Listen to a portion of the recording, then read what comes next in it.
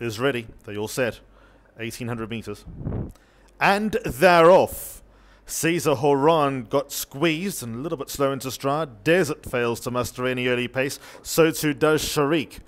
How are they going to play this for the early pace? Sarab broke out well. Stilvio has got a good early spot. And then on the outside, pushing forward, looking for a good spot, Samurai Al Zaman. Al Murtajal, blue sleeves and cap is just off them. Tajari tries to get closer. Then comes Al Motaman. That's in the red headgear, racing at the outside of the leading group and seeking the lead. Olympic is in the gold on the wide outside, a bit awkward around runners. Caesar Horan, Dream de Monjoy will slot in just behind with Rams for company. Then comes Desert against the inside, about five or six lengths off the leader. Next best is Sharik in the purple and white. Further back to Rams, that's being squeezed along. Races a good 12 lengths off the leader. Feka Almatawa further eight lengths in behind, and Idris Desarnet is a mile away down the side of the track, and they work their way through the final 1,000 metres. And Sarab is the leader over Tajari, who races half a length away in second, and Stilvio right there at the rail in third, and now moves alongside the leaders. Then came Al Motaman.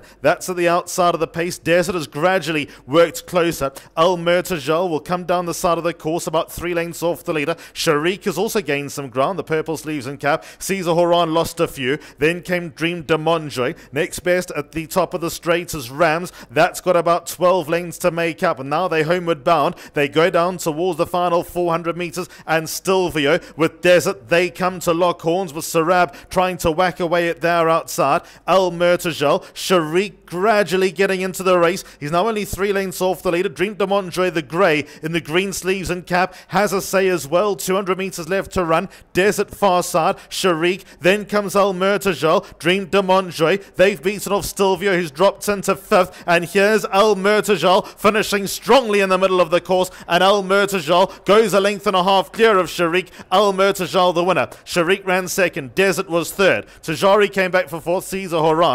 Then came Dream Demontre, Stilvio. Next best was Sarab. Feka Almatawa went past a few late. Bradley Nelson finished midfield. Idris Desarnet. Al Motaman was out after those, feeling its way to Samurai Al Zaman. Then came Rams and Olympic.